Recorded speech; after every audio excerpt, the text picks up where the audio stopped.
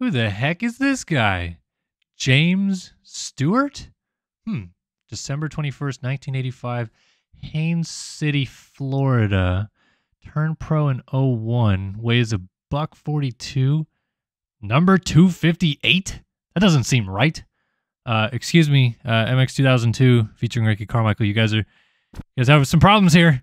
What's going on, everybody? It's Kellen Hicken here from Start Your Systems, and welcome to another Flashback Friday video where today we're going to be playing MX 2002 featuring Ricky Carmichael on the PlayStation 2, talking a little bit about James Stewart because I believe this is the first video game that the legendary James Stewart was ever in.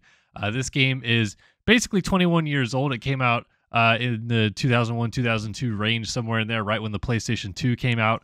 Um, I kind of remember this as like the first PlayStation 2 game I ever got. I may have had a, a couple before it or something like that, but it was definitely like the first like real motocross game I ever got uh, that was, you know, just like I felt like ahead of its time personally. Like when I first saw the commercial for it, I was like, holy smokes, like you can do backflips and look at how like fluid the gameplay is. And honestly, going back and playing this, I, am still pretty impressed with how it feels. Like it obviously looks a little bit, maybe not as graphically up to snuff and maybe physically it looks a little bit wonky and stuff too but like the the fluidity of the bike moving in the air and uh, everything like that is, is just really cool but we'll talk about all that in a second because i'm going to have two tracks in this video first one that we're going to be playing here is of course uh, loretta lynn's in hurricane mills tennessee and the reason i chose this track specifically is because in this game. It says James Stewart turned pro in 2001. Uh, of course, he did so right after racing Loretta Lynn's in 2001 and eventually uh, you know, had his first full season in 2002 racing for Factory Kawasaki.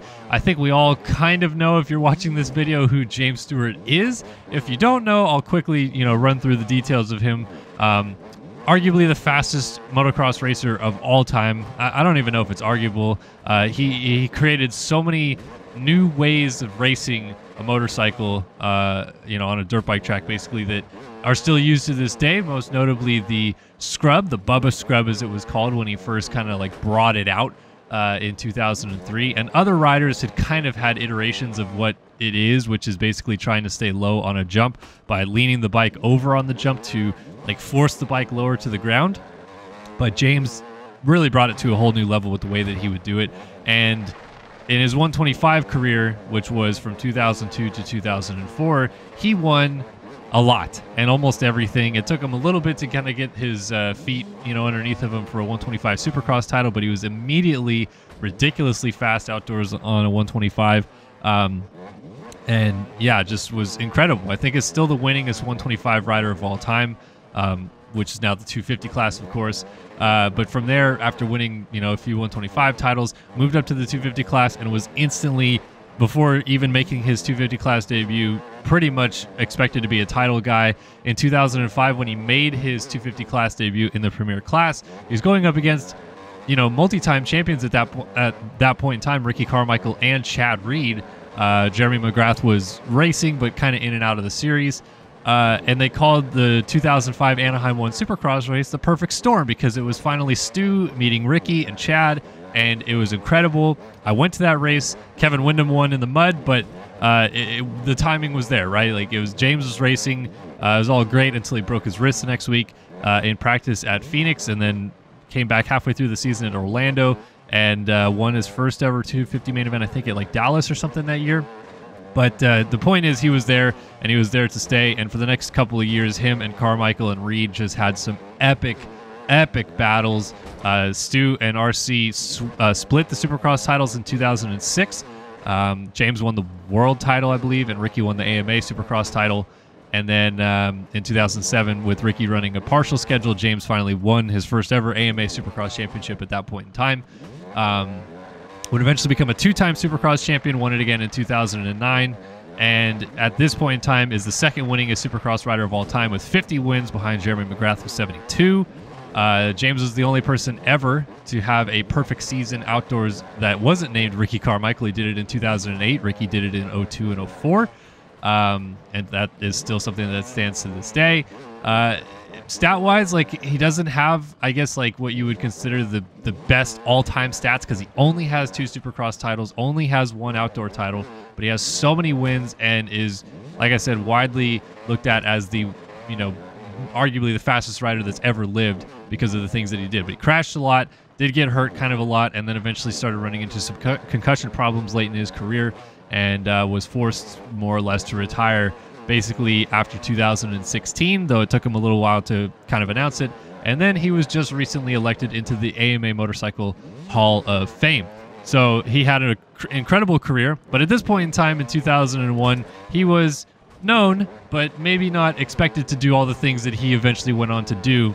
I think some people probably could have said that they would have known that James Stewart would do everything that he did because he was an elite talent, uh, even at a young age. But um, to see him in a video game this early on and know eventually what he would become, it's just kind of cool to go back and relive these days um, and and see. You know, this is this is kind of where it starts. Like this is like right on the teetering of the beginning of his pro career, and he's finally made it into a video game. And uh, from there on, man, he just absolutely took off. So when I loaded up this game, I wasn't expecting to run into James Stewart in this game because it's been a long time since I played this game and I don't remember everybody who was in it but it was cool to come across and see him. And it's funny how they kind of made it uh, work because when you race the 125 class in this game, James is definitely not the fastest guy. Like I was battling Casey Lytle and um, Roderick Tane and Matt Walker and these other guys, and Stu was like a fifth place guy. So. Uh, kind of weird how it works, but that's a lap or a couple laps around Loretta Lynn's. Now I'm going to jump up to the 250 and ride Glen Helen because obviously for me this is a local track, and uh, it's crazy how big they built this track. If you guys are interested in watching me do a full playthrough of this game, for example, uh, I'm going to be doing a live stream. If you're watching this on Friday, December 2nd, 2022, I'm going to do a live stream tonight on our Twitch channel. I'll link it in the description below. That we're going to probably just do a full playthrough of the game. It's going to be pretty late at night, but uh, I think I can probably get through the game in about three hours, so we'll do that. And uh, if I can, I'll upload the whole VOD up on our YouTube channel as well, so you guys can watch that back. But just really cool to load this up and, and, play this again. Like I said, for me, it was such a um, kind of like a big part of my childhood in a way because I had my first console was a PlayStation. Obviously, I had a ton of motocross games on it. I did have a PC and I would play Motocross Madness and stuff like that. But when I finally got a PS2 and we finally got to this level of physical gameplay, I guess it was it was like opening up a whole new world. And at this point in time, I felt like I knew that motocross games were going to be epic in the following years, and they did. Uh, this is a THQ release; it wasn't a Rainbow Studios release, but THQ put this and MX Superfly out, obviously. Then partnered with Rainbow Studios and had MX Unleashed, MX vs ATV Unleashed, MX vs ATV Untamed, MX vs ATV Reflex, MX vs ATV Alive, all within this window from this game coming out, excuse me, until Alive coming out. That's a 10 year span of eight games, basically, that THQ published and they were, in my opinion, all memorable wins. And you know, we also had uh, other games mixed in there. MX Rider, we had um, MTX Mototrax.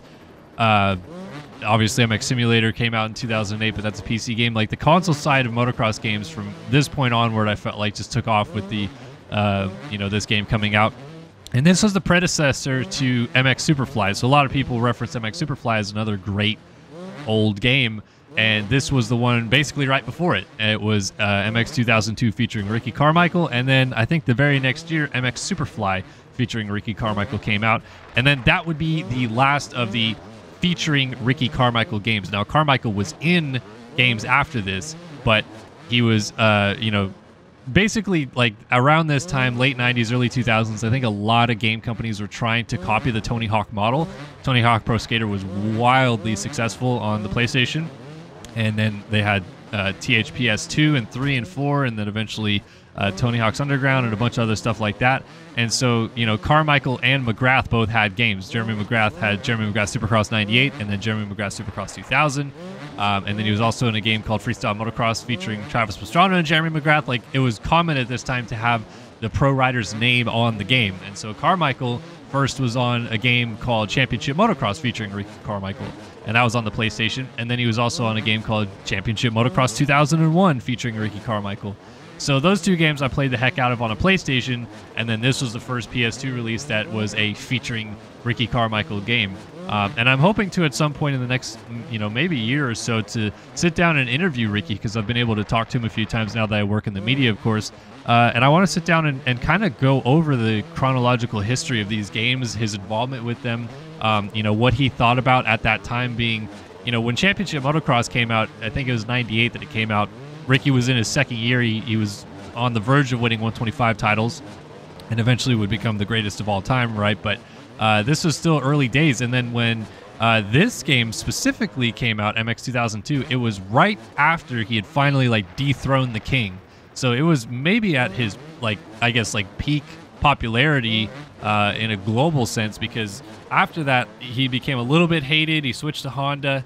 Um, fans like Pastrana maybe a little bit more, and then Chad Reed came over, and obviously that stole some of the attention. But when he when when Ricky dethroned McGrath, like it was a big deal and uh, McGrath was obviously so popular, so it was like, of course, Ricky's also going to be popular. So I feel like this is like the zenith of Carmichael's career right here, this game coming out, and uh, I'd be curious to know a little bit about like you know how interesting was it to be the guy suddenly of the sport, have a video game franchise backing you like this, and have you know kids growing up playing games that had your name attached to it. Like it was setting himself up for a career where his name was going to be very well known for a long time regardless of if he went on to do greater and greater things which he did. He, he ended up winning you know 150 races at that point in time. I don't think he had won even 50 races but he won so much more. He had two perfect motocross seasons um, it just was you know, like I guess the perfect storm that this game was called MX 2002 featuring Ricky Carmichael because in 2002 Ricky Carmichael had his first ever perfect season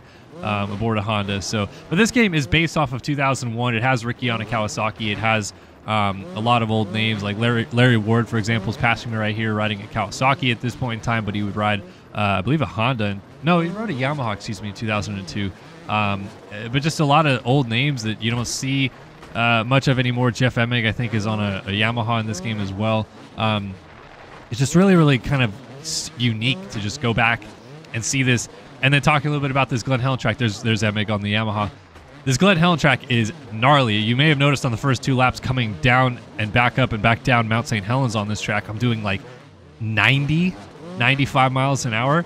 Obviously, it was a video game. Like as much as they tried to make like a realistic game um, at this point in time, there's only so much they could do to control speed and control the the gnarliness that these tracks provide. I mean, look at here we go. We're on 97 to the bottom of the hill.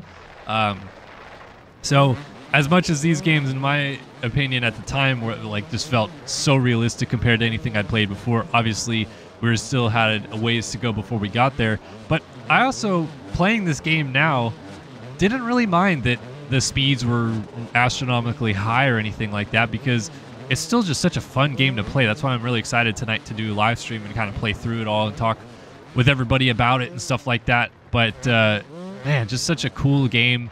Um, really fun to dive back into this for me. Do some of these more Flashback Friday videos because it just, gosh, takes me right back to my childhood. When this game came out, I was nine um, or eight or nine, somewhere in there.